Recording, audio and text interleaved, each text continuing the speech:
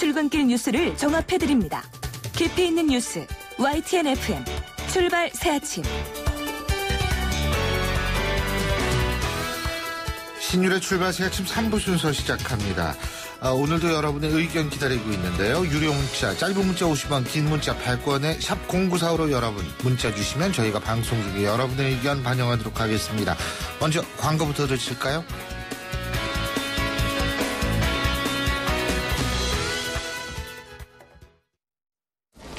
아유, 세 단계 종이 또 걸렸어? 어우, 정말 재본하나 하려다가 미치겠네. 그 내가 진작 현대 오피스로 바꾸라니까 오늘 다 날 셀 거야. 이제 스트레스 받지 마세요. 사무기기 전문 기업 현대 오피스가 책임지겠습니다. 사무기기의 올바른 기준. 현대 오피스. 자오가 같네 자오가 같다 2588 2588 2588 2588왜 자오가 같냐고요? 배우 박소연의 하늘 같은 고객님 단언컨대 한 번 눌러주세요.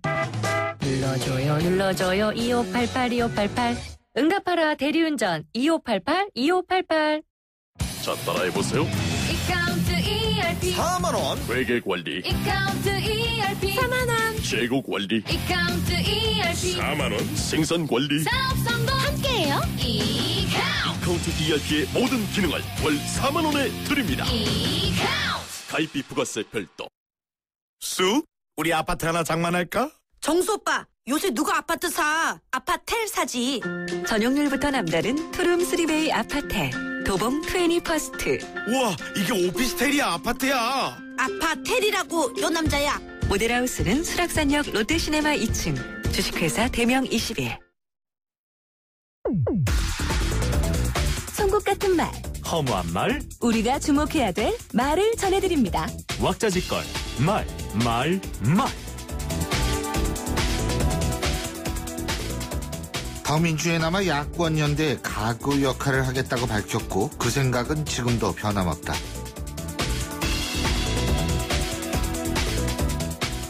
원주 안철수맨이라고 불리는 더불어민주당 송호창 의원이 한 얘기입니다.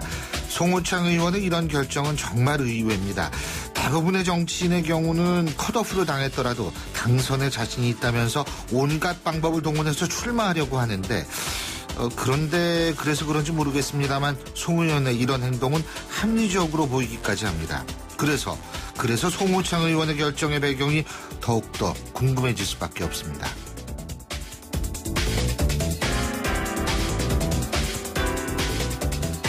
한 분의 말씀으로 바뀔 순 없다.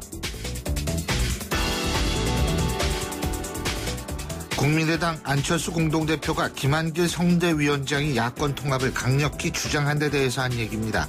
국민의당 내부에서도 김한길 위원장의 발언에 대해서 의견이 갈리고 있는 것 같습니다.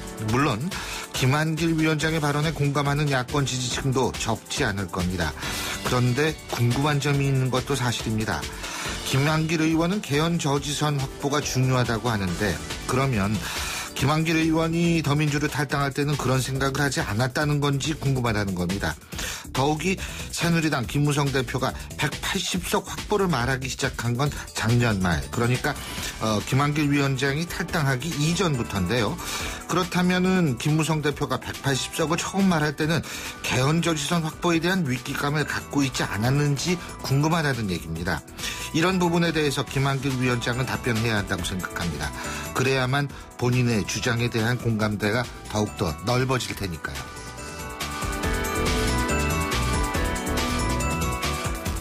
앞으로는 부르지 마라.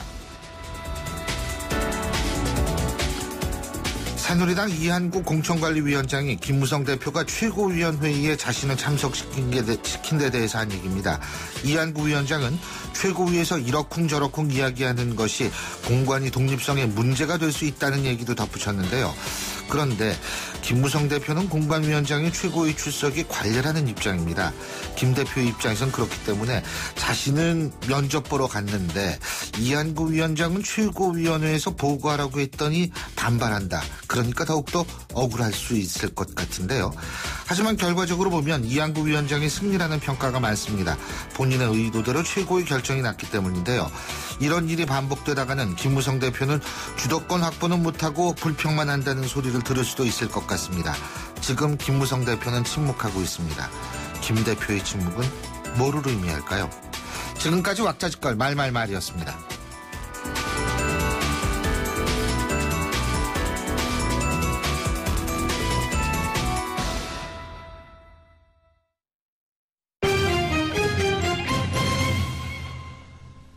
경제 뉴스 알아보겠습니다. 최요한 경제평론가 전화 연결합니다. 안녕하십니까?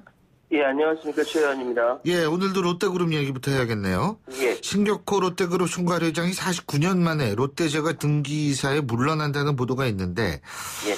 어, 이게 사실 롯데제과 이게 참 이것도 특히 신격호 회장의 애착을 갖는 기업이라고 알려지고 있고요. 그죠? 예, 예. 그러니까 이제 뭐 일- 이- 이렇게 보니까 1세대 기업인들이 모두 퇴진하는 거 아니냐 이런 얘기도 나오고 있어요. 네, 그렇습니다. 그 1922년생이고요. 예. 우리 나이로 만 96세입니다.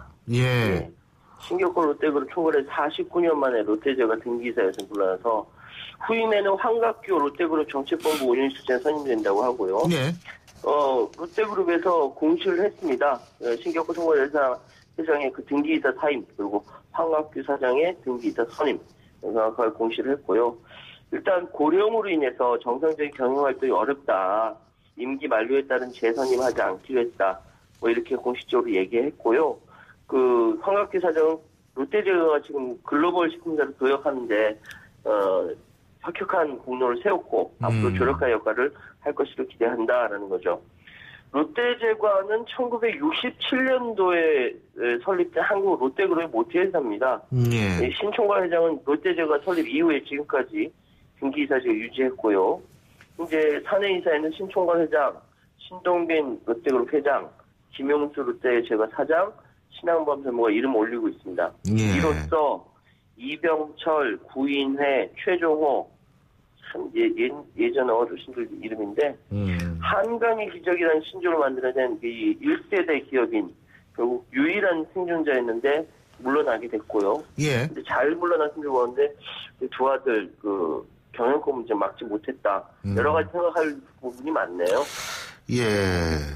제가 이런 얘기 들은 적이 있어요. 신격호 회장이 이게 예. 참그 정말 이 아껴 쓰고 이러는 분인데 예. 어 회사나 이런 데서 뭐 돈 좀 쓰려고 그러면 야 그게 껌이 몇 통이 되는 거냐 이렇게 얘기할 정도로 롯데제과에 대한 애착이 굉장히 강했다고 얘기를 하는데 예, 예. 참 만감이 교차합니다.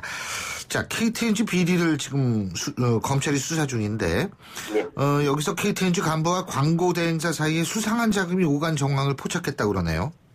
예, 그렇습니다. 이게 좀 복잡한데요. 예.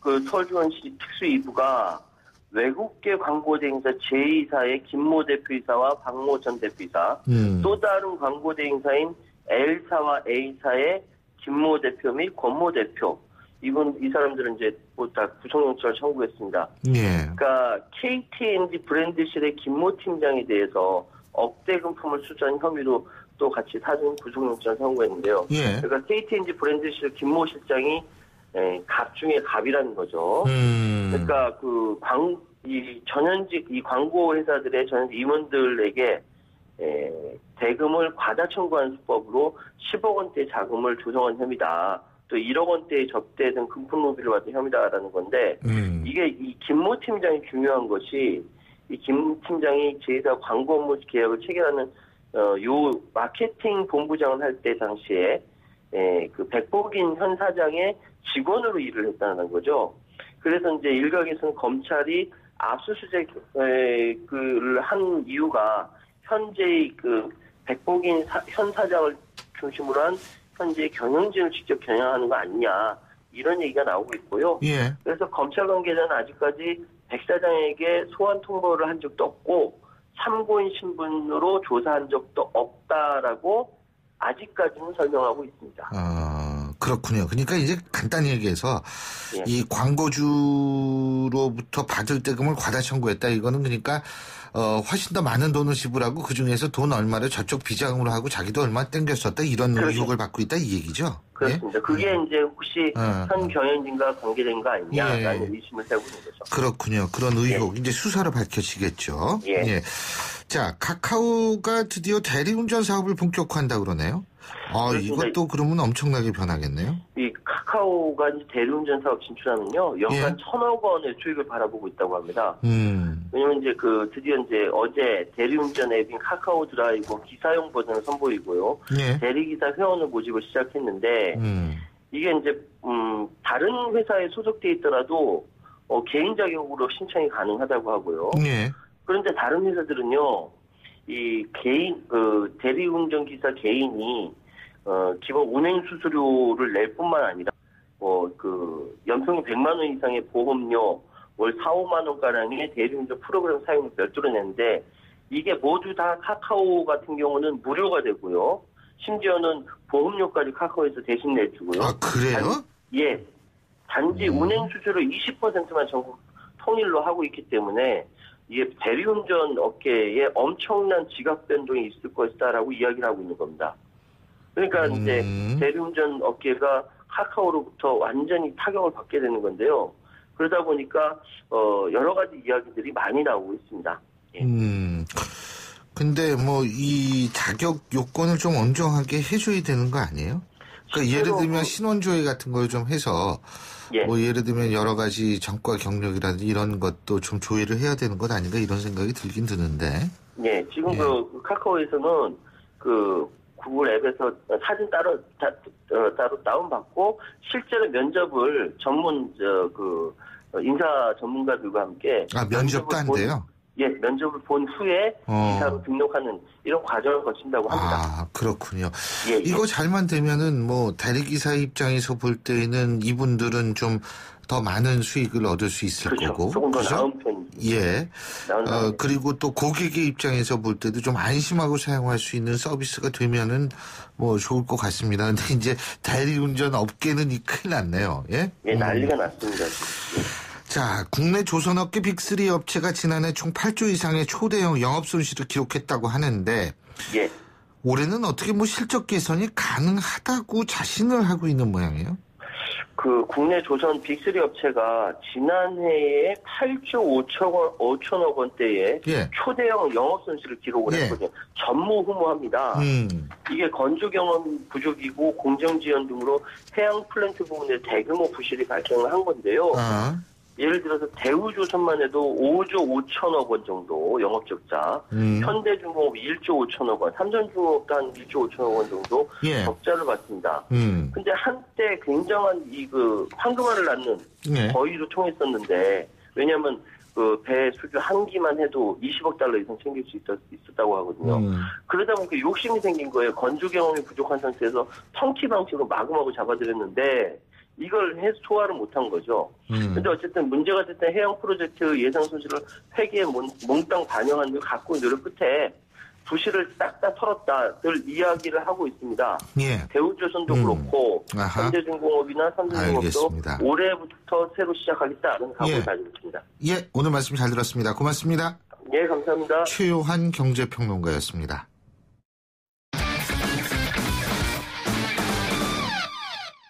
스포츠 소식 알아보겠습니다. 최동호 스포츠 평론가 연결하죠. 안녕하십니까? 예, 안녕하세요. 예, 결국 여자 축구 사상 첫 올림픽 진출의 꿈.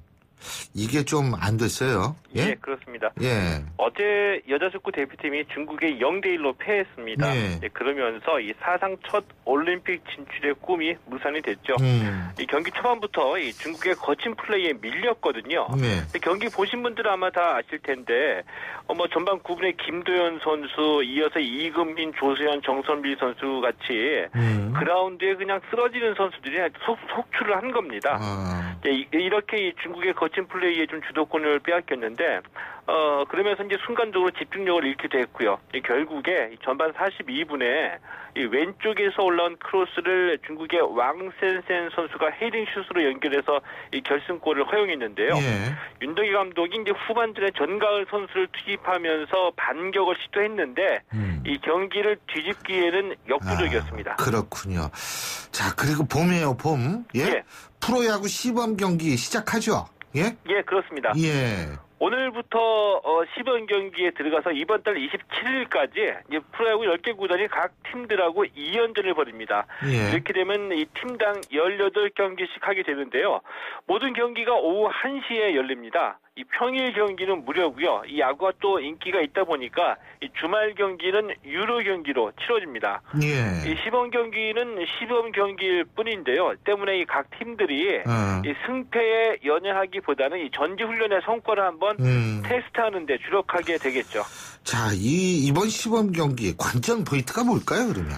어, 전력 평가라는 점에서 가장 궁금한 점은 예. 지난해 이 FA 이동이나 메이저리그로 진출했기 때문에 이런 주축 선수들을 잃은 팀들이 그 전력 공백을 어떻게 메울까 이 점이 이제 궁금한 거거든요. 예. 어, 뭐, 넥센 같은 경우에는 주포인 박병호 선수 떠났고요. 에이스 베네켄도 떠났고요. 손승락 선수도 떠나게 되면서 이런 빈자리를 어떻게 메울지 궁금해지고요. 두산도 김현수 선수 메이저리그로 진출했고, 이 삼성도 박성민, 임창용 선수의 공백이 있는데, 이런 공백을 어떻게 메울지가 가장 궁금한 대목이고요. 또 하나는 이 시범 경기 같은 경우에는 이제 늘이 새로운 얼굴이 관심을 모으고 있거든요. 예. 이 기아의 우한 투수인데 이 170만 달러에 계약한 선수입니다. 이 헥터 음. 루에시 선수. 어, 그리고 이 메이저리그에서 다섯 시, 다섯 시즌 동안 이 통산 71호 홈런으로 관심을 모으고 있는 이 한화의 윌린 로사리오 선수. 음. 어, 이두 선수가 특히 이제 관심을 모으고 있고요.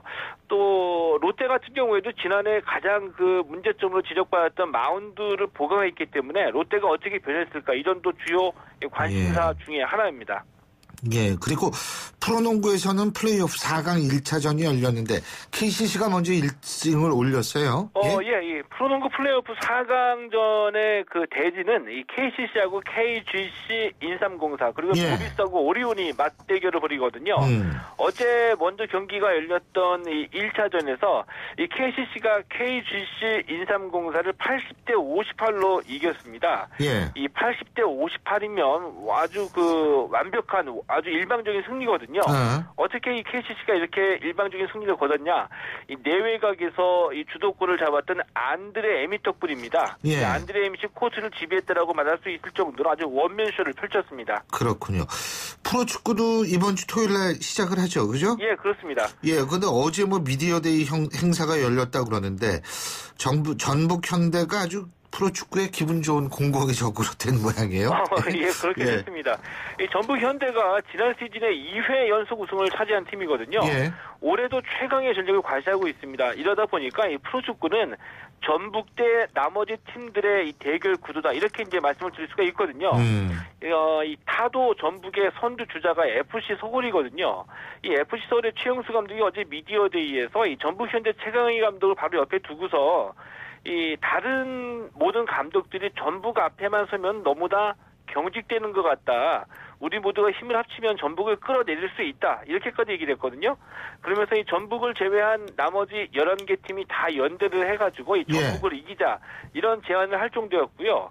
어, 뭐 전북에 도전할 만한 팀 유일하게 FC 서울인데 이제 그래서 그런지 이 전북 현대 최강희 감독하고 이 소- FC 서울의 최영수 감독이 반드시 이기고 싶은 팀으로 서로 양 팀을 지목하기로 했습니다. 아. 아, 이렇게 되다 보니까 2016 시즌 같은 경우에 프로축구 전북 현대의 독주로 예. 끝날지 어. FC 서울이 전북의 대항마로 나설지 이게 또 이 축구. 팬들에게 최고의 관심사로 떠오르고 있습니다. 예, 오늘 말씀 잘 들었습니다. 고맙습니다. 예, 고맙습니다. 예, 지금까지 최동구 스포츠 평론가였고요. 신율의 출발새 아침 3부 순서는 여기서 줄이죠. 잠시 뒤 4부에서 뵙겠습니다.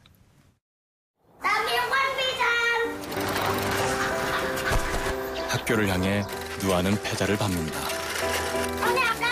가난이 따라오지 못할 만큼 힘차게.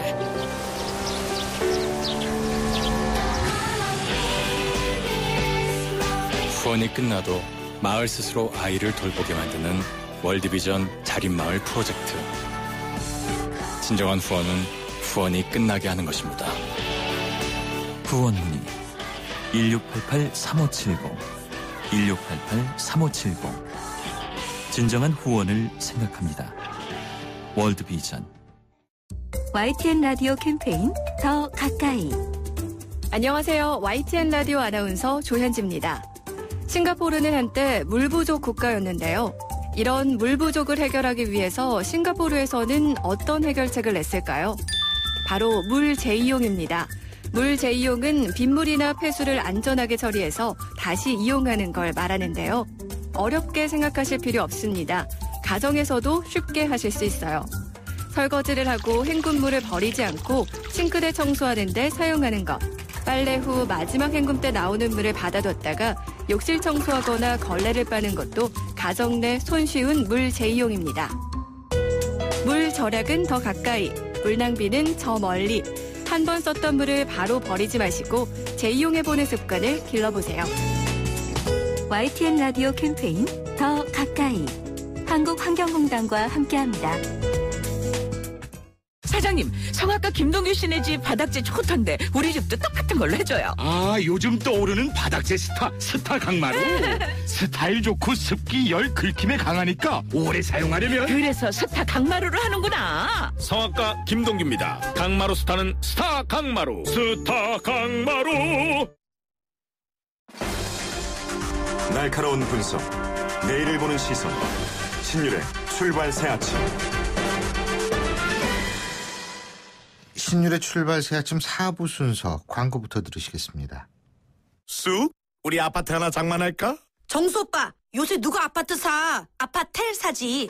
전용률부터 남다른 투룸 three bay 아파트 도봉 Twenty First 우와 이게 오피스텔이야 아파트야 아파텔이라고 요 남자야. 모델하우스는 수락산역 롯데시네마 2층 주식회사 대명 21 8시 30분 55초 지나고 있는데요. 자, 지금 교통 상황 알아보겠습니다. 나성수 캐스터. 네, 내부순환로 성동분기점에서 종암분기점 양방향으로 통제는 계속되고 있는데요. 성산대교 쪽으로 밀립니다. 홍지문 터널에서 연희램프 구간으로 정체고요. 성산로도 연희 나들목에서 이대 후문 방향으로 어렵게 이동합니다. 서부간선도로 외곽 쪽으로 나가는 교통량 오늘 아침 많은데요. 양평에서 금천교까지 지금도 전 구간에서 정체고요. 도심 성산대교 방향으로는 고척교에서 양평교까지 밀립니다. 동부간선도로 수락 고가차도에서 도심 쪽 장안교까지 정체 입니다. 40분 정도는 감안하셔야겠고요. 분당 수서로 복정 교차로에서 탄천 일교까지 청담대교 가는 길도 정체입니다. 신율의 출발 새 아침 교통정보였습니다. 신율의, 신율의 출발 새 아침 오늘 순서 시작합니다. 오늘 아침 당신이 듣고 싶은 뉴스 94.5MHz YTN 뉴스 FM 신율의 출발 새 아침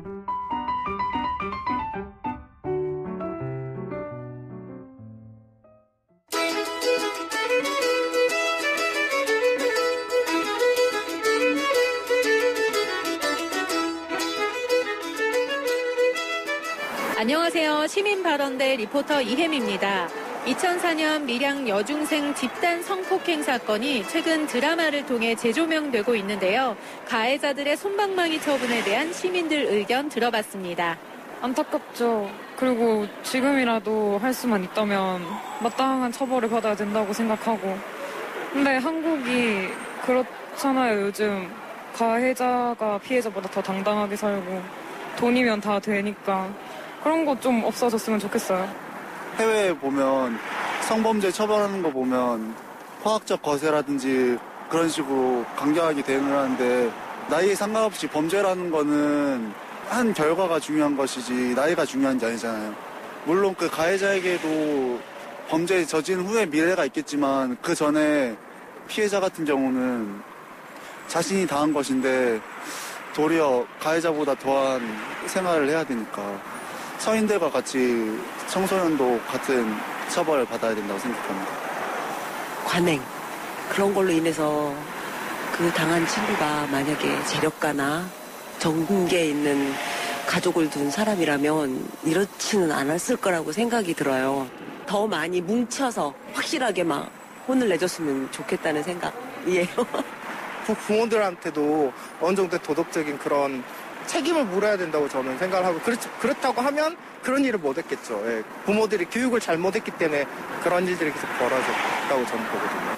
국민이 바뀌어야지 어, 정치가 바뀌고 정치가 바뀌어야지 그런 일이 일어나지 않을 거라고 저는 생각하거든요. 네, 순차적으로 다 연결된 거잖아요. 한 부분만 되는 게 아니라 그렇게까지 해서는 모든 과정이 다 중요한 거니까 하나하나 다 점검을 제대로 했어야 되는 건데 가장 그 처벌 수위에서 뭔가 좀 했다면 그거라도 우선 조금 먼저 짚어가고 나머지 건 순차적이라도 조금 좀 더 발전 가능성 있게 지속적으로 좀 관심 갖고 제도 개선이 필요하지 않을까. 오늘 말씀 고맙습니다. 지금까지 시민 발언대 리포터 이혜미였습니다.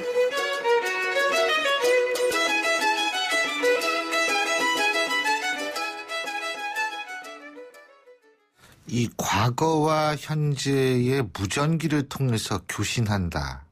그래서 시그널이 왔다 갔다라는 그런 의미로 시그널이라는 제목의 드라마가 요새 인기를 끌고 있는데요. 어, 여기에서는 인주시의 여고생 성폭행 사건이라고 표현이 되고 있습니다. 그런데 실제로는 밀양시 밀양 고교생의 여중생 집단 성폭행 사건이 모티브가 돼 있다. 이런 얘기들이 지금 나오고 있는데요. 자, 어쨌든 음, 지금 이 드라마 때문에 이 사건에 대한 어, 조명이 다시 되고 있습니다. 좀더 자세한 내용 한번 알아보겠습니다. 김영석 변호사 전화 연결돼 돼 있습니다. 안녕하십니까? 네, 안녕하십니까? 이 사건 좀 정리해 주시죠, 일단. 네, 이 사건은 지난 2004년 1월부터 11월 말까지 발생한 사건으로 밀양 지역 고등학 생 44명이 울산에 거주하는 중학교 여학생을 여러, 여러 명이 함께 돌아가면서 장기간 집단 성폭행한 사건입니다. 가해자들은 2003년 7월부터 2004년 1월까지 채팅으로 만났던 울산에 거주하는 중학교 여학생을 2004년 1월 밀양으로 불러내서 같은 해 11월 말까지 집단으로 성폭행하고 금품을 갈취하고 특히 일부 가해자들은 성폭, 성폭행한 장면을 동영상을 촬영해서 협박하고 인터넷에 유포하기도 한 사건입니다. 참 기가 막힌 일인데 그 처벌은 어떻게 받았습니까 가해자들? 네, 당시 수사를 담당했던 울산지방검찰청은 어, 가해자 44명 중에서 10명만 기소했습니다. 나머지 20명은 어, 소년부로 송치하고 13명은 피해자 부모와 어, 합의 등의 이유로 공소권 없음 결정을 했고 어, 기타 한 명은 다른 사건에 연루돼서 다른 검찰청으로 이송을 했습니다. 아, 그래가지고 어, 이후에 이제 울산지방법원은 기소된 10명도 전원 어, 부산지방법원 가정지원 소년부로 송치를 해서 최종적으로는 이들 10명 모두도 소년법에 따라서 보호 처분을 받고 어, 사건이 종결되게 돼서 어, 이 사건으로 가해자 중에 정가가 남는 형사처벌을 받은 사람은 아무도 없는 없이 사건이 마무리됐습니다. 우선 제가 좀 궁금한 게요. 네네. 지금 피해자 부모와 합의를 했다. 그러면 공소권 공소 사실이 없어지는 겁니까? 아니 이 성폭행이라는 거는 가장 엄중한 범죄 중에 하나인데 합의하면 끝나는 거예요? 아, 네. 2013년에 이제 친고죄가 폐지되기 전에는 합의를 하면은 이게 어, 공소권 없음으로 종결이 될 수가 있었습니다. 근데 현재는 안 됩니다. 네. 어, 현재는 안 되지만 아니 이게 과거에도 이게 되면은 안 되죠. 예? 사실상 그 여성의 입장에서 볼 때에는 정신적인 인격살인을 당한 거나 마찬가지인데 예? 그런 일 해놓고서 합의했으니까 없, 없던 일로 하자?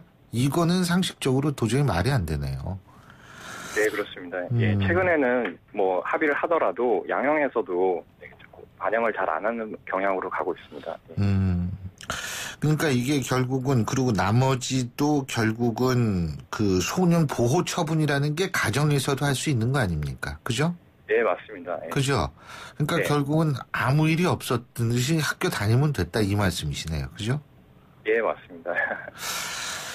어, 그게 이게 참 문제가 되는 게 최소한도 죄를 지었으면 그 죄가 반복되지 않도록 하기 위해서 사실 응당 처분이 필요하다 이런 얘기가 될 수 있을 것 같은데요. 예? 네네. 근데 이렇게 미성년자들이 범죄 행위를 저질러놨는데 실제로 마땅한 처벌이 없었다라고 그렇게 얘기를 할 수 있다면 이 학생들의 죄의식, 그러한 죄를 저지르는 사람들의 죄의식은 어떻게 되는 겁니까?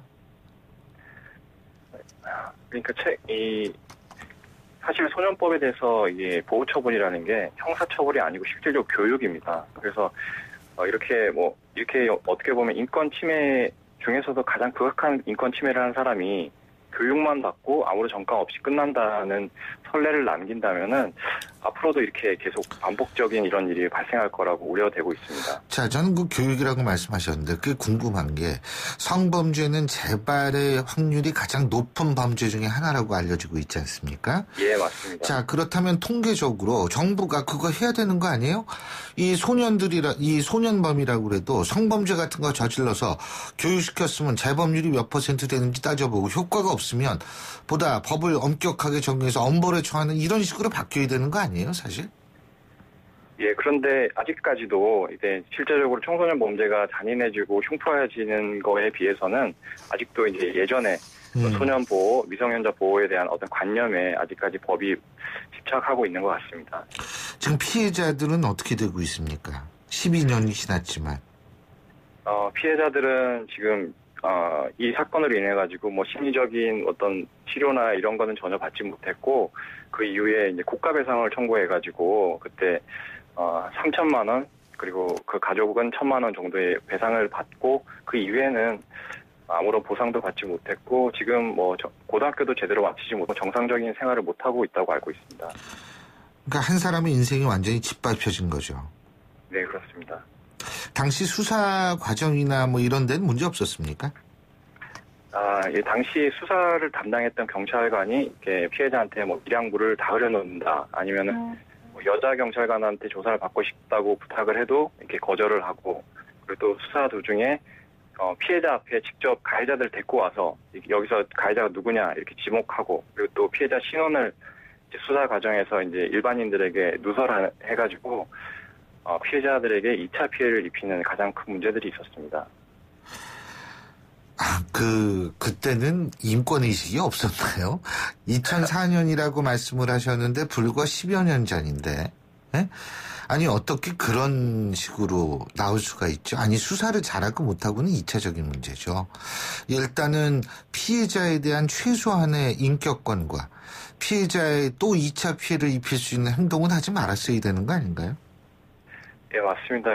지금 그 이제 성범죄 피해자에 대한 어떤 어떤 수사 지원 절차가 한 지난 10년 동안 아주 급격하게 바뀌었습니다. 10년 그러니까 동안. 그때만 네네 그렇습니다. 그때만 해도 소위 말하면 이제 피해자들이 피해를 입- 입었다고 잘 얘기도 할 수 없고 사회적으로 오히려 지탄을 받는 분위기가 팽배했기 때문에 어, 수사 과정에서도 그런 어떤 사회적 분위기가 반영이 돼서 좀 상식 밖의 일이 벌어진 것 같습니다. 음, 상식 밖의 일이 벌어졌네요, 진짜. 예? 이런 비정상적인 것들.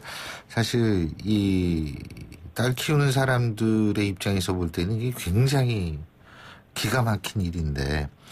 근데 사실 이, 그렇기 때문에 지금 10년 동안 바뀌셨다고 말씀을 하셨습니다만, 네네. 어, 뭐, 한공주라는 영화를 통해서도 재조명된 바가 있는데, 이게 이슈나 화제로 끝날 문제는 절대로 아닌 것 같아요.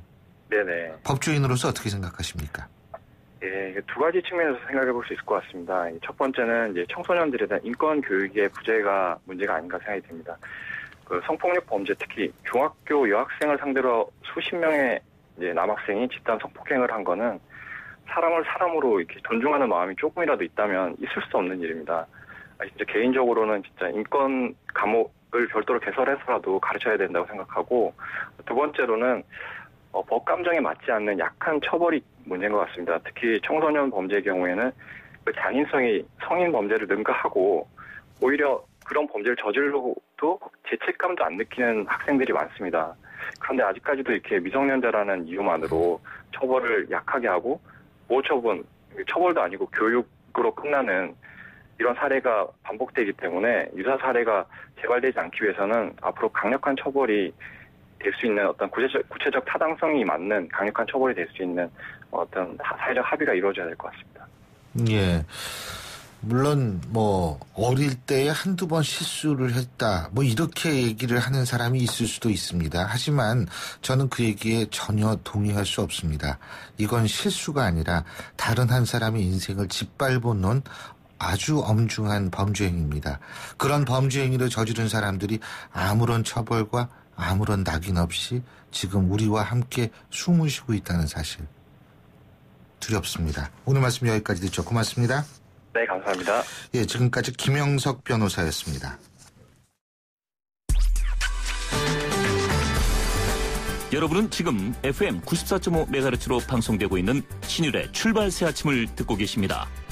의견 주실 분은 짧은 문자 50원, 긴 문자 100원의 이용료가 드는 휴대전화 문자 메시지 샵 0945번으로 의견 남기실 수 있습니다.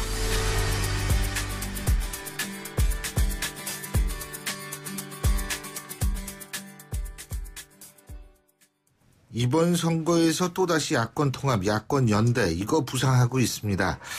뭐 이거 성사되면은 여야 1대1 구도가 만들어진다. 그럼 뭐 큰 변화가 있다. 근데 저는 이 선거 때마다 이 얘기 들어서 별 감흥 없는데요. 어쨌든 이것이 여론이다. 오늘 야권 통합에 대한 여론도 좀 알아보고 분석 전망해 보겠습니다. 여론조사 전문가시죠? 오피니언 라이브의 윤희용 여론 분석 센터장 어, 스튜디오에 모셨습니다. 어서 오십시오. 예, 안녕하십니까? 예. 자, 야권 통합에 대한 여론. 그, 이 얘기부터 해보죠. 지금 여론이 어때요? 일단 뭐 용어를 좀 명확히 할 필요 있을 것 같은데요, 개념을요. 이제 통합이라고 하면 당대당을 합치는 것이고, 예. 예, 연대라고 하면 후보 단일화를 얘기하는 것이니까, 예. 사실 지금은 이제 김, 야당의 더불어민주당이 통합. 하자고 어. 하는 것이지만, 예. 사실 뭐 그것이 짧은 기간에 될 수 있는 건 아니니까, 예. 어, 어떻게 보면 이제 일반 유권자들한테는 통합보다는 이제 선거연대, 후보 어. 단일화 사실 이제 일반적이고 질문도 사실 되게 여론조사에서도 그렇게 물어봅니다. 지금 이제 소개해 드릴 것도, 어, 이 후보 연대, 그러니까 후보 단일화 선거 연대를 물어보는 거예요. 그래서 음. 더불어민주당과 국민의, 죄송합니다. 국민의당과의 이제 선거 연대 또는 후보 단일화에 대해서 어떻게 생각하느냐 이런 조사가 있었는데요. 이게 이제 약간 좀 지난 거긴 합니다. 2월 21일, 2월 22일 이게 양일간 조사가 된 것이거든요. 한국일보가 한국 리서치에 이제 의뢰한 것인데요. 전국 19세 이상 1000명이고 어, 유무선으로 유무선 전화 면접 방식이고요. 응답률은 10.1%였는데 오차 범위는 95% 신뢰 수준에서 플러스 마이너스 3.1% 포인트였고요. 자세한 어, 질문지라든가 결과는 중앙선거 여론조사 공정심의위원회 사이트에서 확인할 수 있는데요.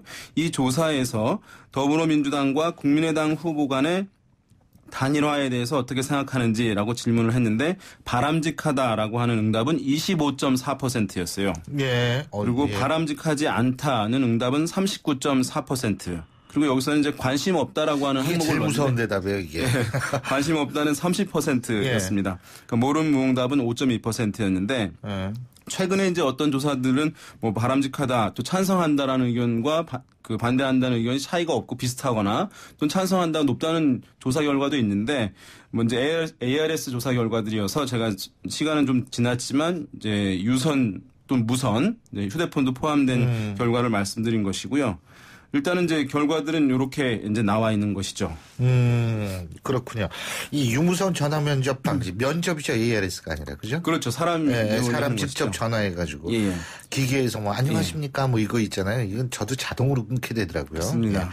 근데 사람이, 아, 잠깐만요. 이렇게 하면은, 아, 이게 또 이 인지상정상 그게 그렇게 매정하게 안 돼요. 네, 예. 그렇습니다. 근데 지지 정당별로도 의견이 중요할 것 같은데. 네, 맞습니다. 이것은 이제 네. 전체 결과는 사실 그렇게 큰 의미를 갖는 것은 아닙니다. 음. 왜냐하면 어, 새누리당 지지자들 같은 경우에는 당연히 바람직하지 않다. 음. 반대한다는 의견이 높을 수밖에 없는 것이거든요. 왜냐하면 야권이 하나로 그렇죠. 뭉쳐지게 되게 되면 여당한테 불리하게 음. 되니까. 그래서 새누리당 지지자들만 떼어놓고 보면 바람직하다는 응답은 11.8%에 불과했고 예. 바람직하지 않다. 그러니까 반대 의견이죠. 이것이 48.5% 거의 이제 어. 절반에 육박했으니까 어. 어, 이제 어느 정도에 따른. 분야에 따라서 달라지고요. 이거 중요한 것은 이제 야권 지지자들 아니겠습니까? 음. 더민주 지지층 같은 경우에는 바람직하다는 응답이 53.5%였어요. 음. 그러니까 바람직하지 않다는 32.9%였으니까 찬성 응답이 더 높은 거죠. 그렇죠. 그런데 국민의당 같은 경우에는 바람직하다 43.1%요. 바람직하지 않다 45.7%. 거의 비슷하네요. 거의 비- 차이가 없어요. 네. 그러니까 어, 국민의당은 좀 나뉘어져 있는 것이죠. 그래서 대체로 이제 이 야권 연대 후보 단일화에 대한 이제 조사 결과는 전체 결과는 큰 의미는 없고 아. 각 당의 지지자들의 의견이 중요한데 그것은 이제 어느 조사를 보나 이것과 비슷합니다. 음. 새누리당 지지자들은 반대 의견이 높고 음. 아 그다음에 이제 제1야당인 더불어민주당 지지자들은 찬성 음. 의견이 이제 월등히 높고 근데 국민의당 같은 경우 지지자들 같은 경우는 좀 혼재해 있는 그런 상황이라고 하겠습니다. 왜냐하면 음. 국민의당 지지자들 같은 경우에 이 양당 정치를 싫어하는 사람들도 있고 또 그러면서도 또 야권 성향을 가지고 있기 때문에 이것이 이제 혼재해 있고 호남 같은 경우에 보면 이 조사에서 바람직하다가 41.8% 바람직하지 않다가 32.6%. 그러니까 호남에서도 약간 이제 바람직하다 찬성 의견이 높은 것이거든요. 그러니까 또 국민의당 내부에서도 이런 혼란이 있는 것 같습니다. 자, 그 수치적으로 보면은 네. 이게 효과가 있을지 없을지 모르겠어요. 그리고 사실은 일부에서 그러잖아요. 하도 야권 연대 선거 때마다 하니까 통합도 하고 습관성 통합 혹은 연대 증후군이다 이런 얘기까지 나오고 있는데 약발이 있을까요? 일단 뭐 정당들이 효과 없는 것을 하지는 아- 예, 하려고 하지는 않을 테니까 그렇죠. 사실 뭐 동물적으로 이것이 이제 효과 있다는 것을 알, 아니까 적극적으로 이제 추진하려고 하는 것이고 이기지는 못했잖아요. 사실은 최근에는. 그렇죠. 이게 보면은 이제 약간 다른 측면이 있습니다. 과거에 보면 이제 이번에 통합진보당 같이 이제 이념적인 측면에서의 또 뭐 진보 저- 성향이 강한 정당과 통합 내지는 연대 논의를 한다. 또는 통합 진보당이 있다는 것을 전제로 했을 때는 만약에 이제 그런 음 비판 여론이 상당히 높게 나왔을 가능성도 배제할 수가 없을 텐데 이번 같은 경우는 이제 왼쪽에 있는 정당이 아니라 이제 중간에 있는 정당이지 않습니까? 국민의당이 중도를 표방하고 있으니까. 사실 이제 그런 비판은 약간 다르다는 점이 일정과는 약간 차이점이라고 할 수 있겠고 야권 성향층의 특성이 보면은 어 이렇게 어 일단은 야당에 대한 어떤 적극적 지지보다는 더 먼저 강한 그 심리가 새누리당에 대한 또는 보수 정치 세력에 대한 반감이 훨씬 더 커요. 그러니까 보수 정치 세력의 확장에 대한 견제 심리가 훨씬 더 강하기 때문에 야당이 이제 어느 정당이든 그게 중요하지 않은 거예요. 그러니까 어느 정당이든 후보가 한 명 제시되면 어, 여당에 대한 견제 심리 때문에 그 야당의 후보를 지지하는 특성을 보이거든요. 그러니까 이른바 어떤 어, 정- 보수 정치 세력에 대한 이제 그 확장을 막으라고 하는 조건부 지지 특성을 야권 성향층들이 가지고 있어서 그러니까 이제 그- 이 야권 연대가 일정 부분 효과가 있다라고 봐야 될 것으로 어, 생각이 됩니다. 그걸 뭐 부정할 수는 없을 것 같아요. 야권 성향층의 특성을 감안하자면. 어, 그러니까 야권 연대가 안 돼, 있- 안 되거나 혹은 야권 연대 통합에 포함이 안 돼 있는 정당이 있었을 때는 결과가 다르게 좀 야권에 불리하게 나온다. 그죠? 그렇겠죠. 그런 어. 19대 총선에서도 그랬나요? 그렇습니다. 19대 총선에 이제 야권 연대 사실은 많이 이루어졌죠.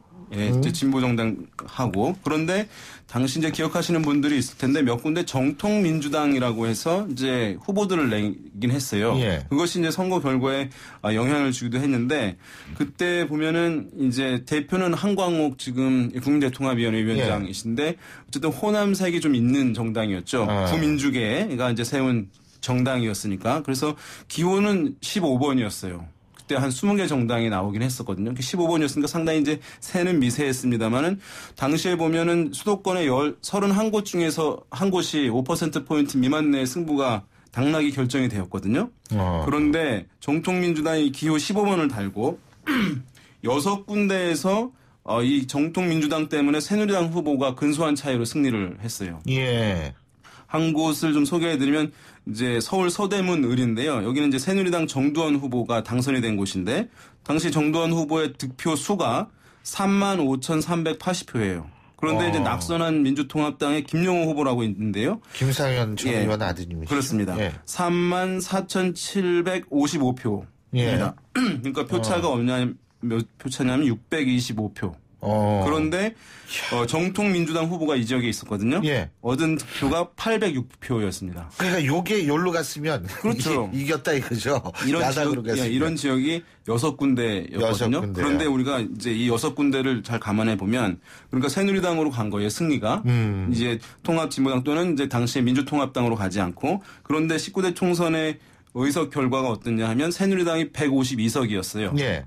그 다음에 민주통합당이 127석, 예. 통합진보당이 13석이었거든요. 음. 그러니까 민주통합당과 통합진보당을 합치게 되면 140석이거든요. 그러니까 12석 차이가 나는 거예요. 예. 새누리당과 민주통합당, 통합진보당 합쳤을 때. 음. 근데 아까 6석이라고 하지 않았습니까? 그럼 새누리당에서 6석이 빠지고 이것이 요 야당으로 가게 되면 음. 여야가 같아지는 상황이 발생할 수 있는 거죠. 물론 여기에 이제 자유선진당이 다섯 석, 무소속이 세 석이 있는데 그것을 빼놓고 이제 재미있게 얘기를 하자면 그 아, 역사가 아. 어떻게 될지 모르, 됐을지 모른다. 모른다 라고 이제 얘기를 하는 경우들이 있죠. 그러니까 어쨌든 이것이 일정 부분 어. 정통민주당 기억 잘 못하는데 지금의 국민의당은 그거보다는 새가 지금 상당히 이제 약화되긴 했습니다만은 아 그래도 의미가 있죠. 예, 그러니까 예. 그때보다 더 약간 이제 영향을 더 줄 가능성이 있다고 보는 것이거든요. 그러니까 사실 예. 더불어민주당에서도 이 통합 제의를 뭐 진정성이 있든 여부를 떠나가지고 이제 제안을 한 이유는 이제 거기에 있다고 할 수 있을 것 같습니다. 그러니까 그 나가기 전에 좀 잡죠. 네. 이거 다 나간 다음에. 근데 어떻게 가능하다고 보세요? 일단은 뭐 안철수 대표 같은 경우는 이것을 합당 또는 통합을 하게 되면 본인의 어떤 존재 의미 자체가 상실되는 것이니까 예. 받아들이기 어렵다고 할 수 있겠고요. 예. 다만 이제 호남에서는 경쟁하고 음. 수도권에서는 이제 연대하는 것이 타협안이 될 가능성이 있는데요. 다만 이제 어, 안철수 대표 같은 경우에 수도권에서도 연대가 없다라고 음. 얘기를 했는데 아마 이제 가- 개별 지역별 또는 개별 후보별로 이렇게 자율적인 단일화하는 것들이 있을 수밖에 없고 그것을 아마 국민의당 지도부도 적절하게 통제를 하지는 못할 것으로 보여요. 그래서 이- 아 근데 그거 어제 저기 최현식 대변이나 국민의당 네네. 인터뷰를 했는데 아 그거 통제 못하는 게 무슨 정당이냐? 네. 어? 당론을 따라야지 모두. 근데 네? 왜냐하면 어, 지도부의 생각과 출마한 후보들은 다를 수밖에 없는데 출마한 후보들이 10%를 얻지 못하면 또는 이제 15%는 전액, 10%는 반액인데 보전을 이제 못, 다- 못 받죠. 돈은 못 돌려받죠. 10%도 나오지 않을 것 같은 후보들은 단일화를 해주는 게 명분도 있고 사태 이제 모양새가 있는 것이거든요. 근데 돈만 쓰고 만약에 보전을 못 받게 되는 사람이 있기 때문에 약간 목적 함수들이 지도부와 후보들이 다를 수가 있습니다. 근데요, 솔직한 얘기로 출마한 사람들 있잖아요. 예? 다 뭐라고 생각하냐면 지지율이 형편없어도 자기 당선될 수 있다고 생각하는 게 정치예요. 맞습니다. 그 생각이 없으면 끝까지 버티지 못한다고 그러니까 하더라고요. 어느 출마자가 아 나 10% 이거 못 얻을 것 같아가지고 이거 이 돈도 네. 못 받을 것 같은데 이렇게 생각한 사람은 제가 볼 땐 전체 출마자의 0.001%도 안 될 거요. 네. 뭐 그죠?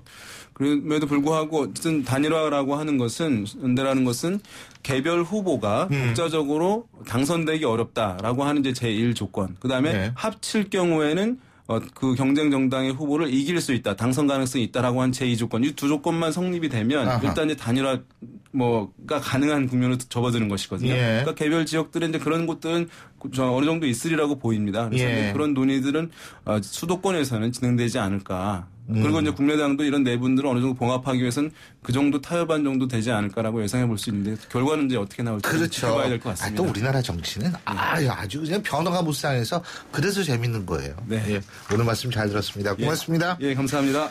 예, 지금까지 오피니언 라이브의 윤희웅 여론분석 센터장이었고요. 자, 신율의 출발 새 아침 벌써 수요일 순서 줄일 때가 됐습니다. 아, 화요일 순서 줄일 때가 됐습니다. 자, 여러분 오늘도 힘찬 하루 보내시기 바라겠고요.